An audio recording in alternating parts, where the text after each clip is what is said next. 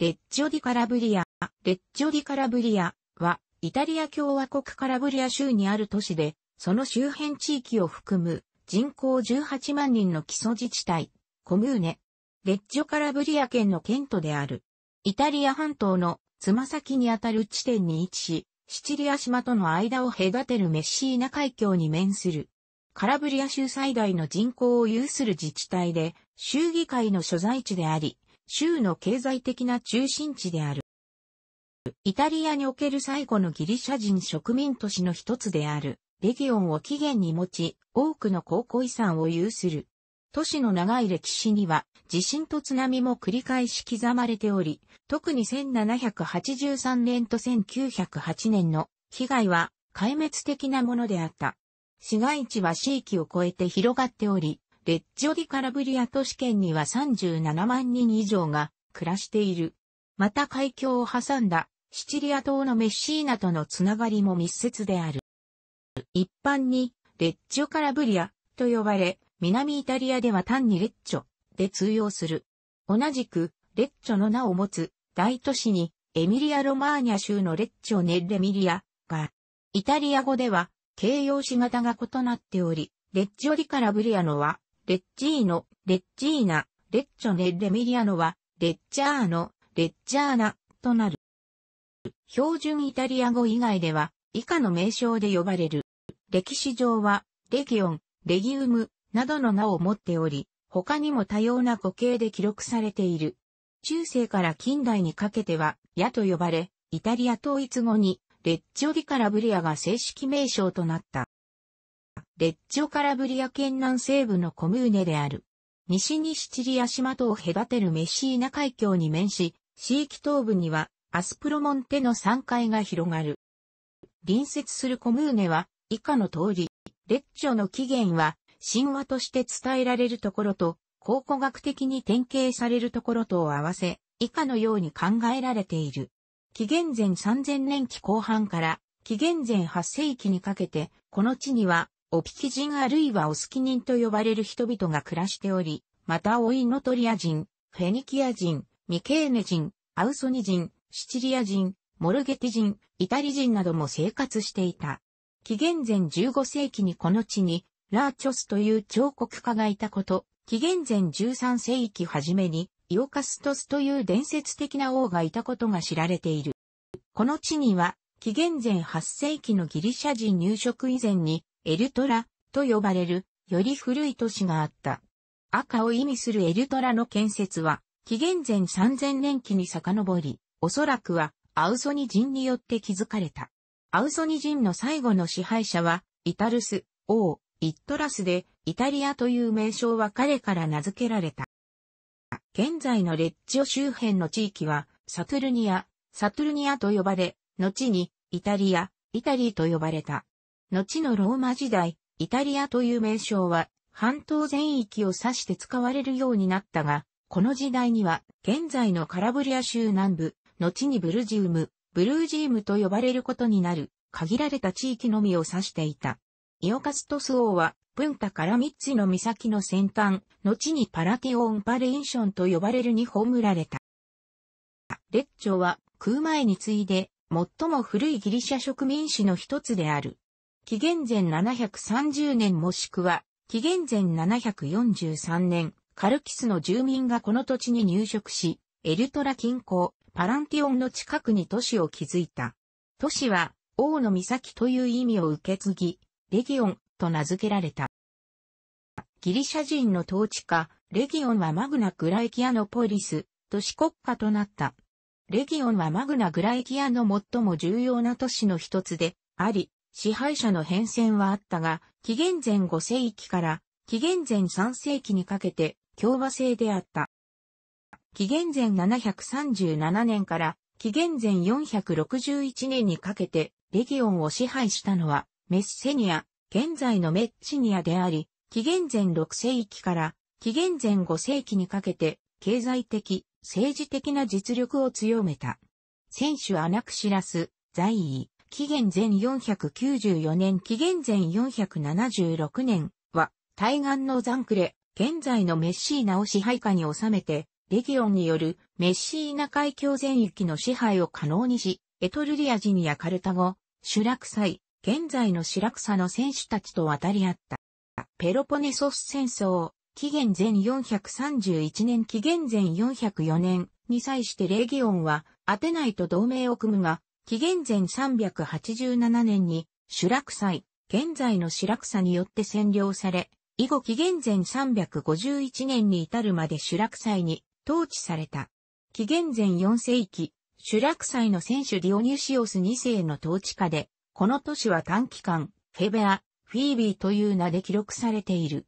シュラクサイの後は、カンパニアによる支配を受けた。紀元前278年には、都市を占拠して、ピロスと同盟を結んだ、ローマ反乱軍を、ローマ正規軍が、包囲戦の末に破る戦いが発生した、レギオン包囲。レギオンは、芸術都市として栄えて、高度な文化的水準がある町だった。芸術、哲学、科学に関する学校、ピタゴラス学派のものもその一つであるも置かれ、また巧妙な詩人、歴史家、彫刻家を輩出した。例えば、イビュコス、レギオンのイッピュース、レギオンのピュタゴラスなどである。ギリシャ時代の考古遺跡からの発掘物は、地元各地に展示されている。この町は、ラテン語では、レギウムと呼ばれた。レギウムは、ローマにとって重要な同盟都市であり、ソシア・ノバーリーズであった。ローマによる支配下でもレギウムでは独自の造幣局やギリシャの文化、慣習が維持された。レギウムは陸上交通と海上交通の結節点であった。カプアレギウム街道、ポピリア街道ビアポピーリア、アンニア街道ビアアンニアともの終着点であり、都市の近くには港が建設された。紀元前1世紀の第三次奴隷戦争、スパルタクスの反乱において、レギウムは、スパルタクスらの最後の拠点となった。紀元前91年には地震により破壊されたことが記録されている。その後、別の地震で破壊されており、アウグストゥスの再建命令を受けて、西暦17年に再建された。ローマ帝国時代には、レギウム・ユリウムの名で呼ばれた。レギウムは、南イタリアで最も重要かつ富裕な都市の一つとなった。ローマ帝国時代には、イタリア本土第三行政区、ルカニアエとブルッティーノ、コレクトルの成長所在地であった。帝世紀のレギウムには、少なくとも8つの公衆浴場があり、そのうちの一つは現代でも見ることができる。パウロは、その生涯最後のローマへの旅の途中で、レギウムを通過し、首都原稿録、X バイブ13、この地で最初のキリスト教の伝道を行っている。伝承によれば、ブルッティウムのキリスト教家は彼によるという。305年と374年に地震によって都市が破壊されたことが記録されている。西ローマ帝国の崩壊後、5世紀から6世紀にかけて、バンダル族、ランゴバルド人、ゴート族がこの地に侵入した。536年以後東ローマ帝国の支配下に入り、南イタリアにおける東ローマ帝国領の主婦となった。またこの土地は、時にカラブリア公に与えられてその主婦となり、また、イタリアにおける東方教会の中心地となり、8世紀には主教が置かれた。ビサンチン文化の中心地であったことに由来して、1081年に教皇グレゴリウス7世はカトリックの統治の司教にビサンチン典礼を認めた。以後16世紀までイタリアでビサンチン典礼を行う最も重要な司教区であった。中世初期にはレッジョが重要な戦略的位置を占めるために他にも多くの占領者が統治を支配した。9世紀後半、イスラム教徒のモーフォレック・イブン・セイラムは南イタリアの沿岸部を占領して自治的スルタン領を建国したが、その最盛期に勢力はバーリからレッジョにまで及んだ。918年にもイスラム教徒がレッジョを占領し、住民が奴隷とされた。10世紀から11世紀にかけて短期間ながらこの土地を支配したアラブ人はこの町をライバと呼び、シチリア首長国の領土とした。1060年、ロベルト・イル・グイスカルドとその弟ル・ジェーロ一世、率いるノルマン人はこの町を占領したノルマン人による南イタリア征服参照。ノルマン人はこの町をリサと呼んで支配したが、ギリシャの文化や宗教はそのまま認めた。これらは17世紀頃まで維持されることになる。ルッチェーロ一世の子である、ルッチェーロ二世が1130年にシチリア王となったため、この土地はイタリア半島とシチリア島にまたがるシチリア王国の一部となった。シチリアの王位は1194年から1266年にかけてシュバーベンのホーエンシュタウフェン家のものとなった。1234年にはホーエンシュタウフェン家出身の皇帝フリードリヒ2世の決定によ、この町に定期市が建てられた。シチリア王位は1266年、フランスの王族である、アンジュー家、アンジューシチリア家のカルロ一世、シャルル・ダンジューが占めるが、1282年、シチリアの番頭事件を契機に、住民の反乱発生。カルロ一世は、シチリア島を追われて、ナポリに移転し、ナポリ王国、シチリア島の住民は、アラゴン王国のペドロ三世を迎え入れた、シチリア番頭戦争。列長は、メッシーナをはじめとするシチリア東部の都市との歴史、文化、経済的つながりが深かったことから、シチリア人とアラゴン人の反安住家の戦いを支援した。アラゴンの支配下でこの町は、リゲルズと呼ばれ、城塞が拡張された。以後、1266年から1503年にかけ、地理的な要衝であるレチョは、シチリア王国、アラゴン王国とナポリ王国、アンジュー家による争奪が繰り返された。中世のレッチョは、カリグラフィーと印刷の重要な中心地であった。1475年には、レッチョのユダヤ人コミュニティによるヘブライ語の印刷物が印刷されている。これは、ユダヤ教聖書のモーセ語書についてのらし、シュローモーイツハーキーの注釈書であった。レッチョのユダヤ人たちは、染料や絹の貿易に従事し、国際的に大きな役割を果たした。1504年に成立したスペインハプスブルク家は、シチリア王国とナポリ王国を事実上のスペイン王国領とした。レッチョの人々にとって16.17世紀は、スペインの重税による衰退の時代であり、疫病、地震、1562年、オスマン帝国による侵攻、1543年から1594年が町を襲った時代であった。1558年には、バーバリ海賊がレッチを襲撃し、住民の多くを奴隷としてトリポリに連れ去った。1562年の地震では、中世に使われていた天然の港が破壊され、ギリシャ人上陸の地として知られていたプンタカラミッツが壊没した。スペインハプスブルク家は1700年に断絶し、スペイン継承戦争が勃発する。1714年から1734年まで南イタリアはオーストリアハプスブルク家の領土となった。ついで1735年にカルロ7世、スペインブルボン家出身が治めるナポリ王国の一部となった。1783年には、大地震がカラブリア全域とメッシーナを襲い、レッチョも大きな被害を受けた。地震被害からの都市再建のため、ジョバンバタスタ森が道路計画を立て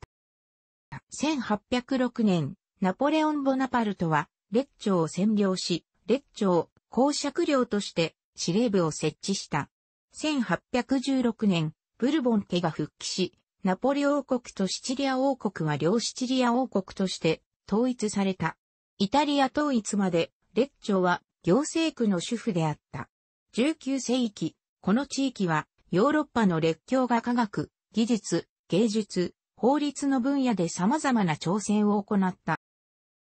柑橘系の果物であるベルガモットは15世紀以来、レッチョ地域で栽培、利用されていたが、1750年に世界的に紹介され、各地で栽培が始まった。18世紀から19世紀にかけて、レッチョを訪れた、ヨハン・ヘルマン・フォン・リーデゼル、1767年、ジャンクロード・リシャールド・サンノン、1778年、エドワード・リア、1847年といった旅行者たちは、その記録でこの町とその周辺地域を美しい庭園になぞらえている。1860年8月21日、ジュゼッペ・ガリバルディ率いる千人隊と同志たちは、レッチョの大聖堂広場の戦いで両シチリア王国軍に勝利した。レッジョ市長のブルーノ・アントニオ・ロッシ、ブルーノ・アントニオ・ロッシは、フランチェスコ2世による統治の終焉と、ガリバルディによる独裁を宣言することとなった。イタリア統一を果たしたイタリア王国の下で、使命は、レッジョ・ディ・カラブリアに改められた。しかし重い債務に苦しんでいた王国は、国庫を潤すために、南イタリアの産業の収奪を行い退させた。影響をかぶった地元産業としては、林業、工業、造船業、養蚕業、絹織物業などが挙げられる。1908年12月28日午前5時21分、レッチョは大地震に見舞われた。近代西ヨーロッパにおける最悪の地震として記録されているメッシーナ地震である。レッチョの震度は海西メルカリ震度で X クシーと推定され、揺れは31秒にわたって続いた。壊滅的な地震から逃れ、海岸の空き地に避難した人々は、地震発生から10分後に到達した津波に飲み込まることになった。62メートルの津波は3波にわたって市街を襲い、沿岸部は壊滅した。海峡を越えたメッシーナで犠牲者6万5千人、住民の42%を出したことで知られる地震であるが、レッチョでも2万5千人、住民の27%とされる膨大な犠牲者を出した。なお、この地震の犠牲者数については、諸説ある。地震後、市街は近代的な水準での再建が行われた。1911年には直線道路が直行する都市計画を立て、現在の都市のレイアウトを生み出している。一方、都市計画には歴史的建築の保護という観点を重視しておらず、旧市街地にあったノルマン人の城の最後に残された一角が1923年に解体されている。ファシスト政権、ベニート・ムッソリーニ政権下では、地方行政の再編が図られた。レッジョ・ディ・カラブリアは、感染市長、ポデスタの下で周辺町村の編入が行われ、オーレッチョと呼ばれた。その戦略的な立地のため、第二次世界大戦中の1943年1月27日以後、アメリカ・イギリス軍による爆撃に繰り返し見舞われた。空港、港湾、工場などの軍事施設に加え、7月と8月には市街地も標的となり、大きな被害を被った。1943年9月3日には、イギリス第8軍の上陸作戦、ベータ運作戦が行われた。レッジョ・ディ・カラブリアはイタリアにおいて空襲による犠牲が多かった都市の一つである。爆撃による死者は約4000人、負傷者約1万2000人、また建物の70%が破壊もしくは被害を受けた。1970年から1971年にかけて、この町は、レッチョの反乱と呼ばれる住民の放棄の舞台となった。これは、政府が新しく設置するカラブリア州の州都として、レッチョよりも小さく重要でない都市とみなされていた、カタンザールを選定したことを契機とする。反乱は、ネオファシズム組織であるイタリア社会運動、マシーの若いメンバーたちが主導。背後には、ドランゲタ、カラブリアのマフィア的な犯罪結社がいた。レッジョカラブリアの反乱は、他にも、縁故主義や、見通しのない産業計画など、様々な不満が爆発したものであった。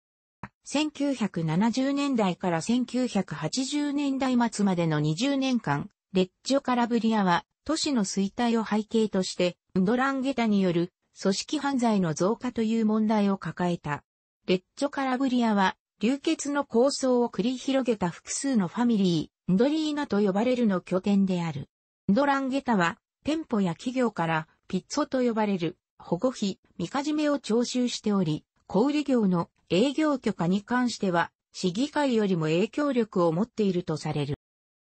汚職のスパイラルは1990年代初頭に頂点に達した。当時の市長は金を詰めて視聴者に持ち込んだスーツケースが空になって出ていくという告白をした。全国的に広がった政治スキャンダル、タンジェントポリの中で市議会議員のほとんどが逮捕された。1990年代初頭以降、住民と行政の協力によって都市を回復、刷新しようとするレッジョ春、プリーマベラディレッジョと呼ばれる運動が進められた。都市の中央にある海沿いの地区では、ドランゲタの利権や犯罪の温床となっていた違法建築や営業を排除して開かれた大通りが繰られた。レッチョの春のシンボルとされる、この大通りは、運動を方向づけた、市長、在任、1993年から2001年に、ちなんでと命名されている。2012年10月9日、イタリア政府は、ドランゲタの浸透を理由として、レッジョカラブリア市議会の解散を決定した。2002年から2010年にかけての市長の下で、議員が有力犯罪組織とつながりを持った疑惑が生じたためで、市長と30人の市議会議員全員が地方政府に対するマフィアの感染を防ぐためとして解任された。県庁が所在する都市の地方政府に対し、犯罪組織とのつながりの疑いで解体措置が出されるのは初めてのことである。レッジョディカラブリアには以下の分離集落、フラツヨーネがある。レッジーナカルチョが本拠を置いている。2013から14シーズンは、セリエ B、2部リーグ所属で、ホームスタジアムはスタディオ・オレステ・グラニーロ。正式名称に示されるように、1914年に創設された歴史あるクラブで、対岸のメッシーナに本拠を置く FC メッシーナとの対決は、Derby dello Stretto、海峡、ダービーと呼ばれるダービーマッチになる。2002年より2005年まで中村俊輔が所属していたことで、日本でも知られる、所属当時は、セリエ A。楽しくご覧になりましたら、購読と良いです。クリックしてください。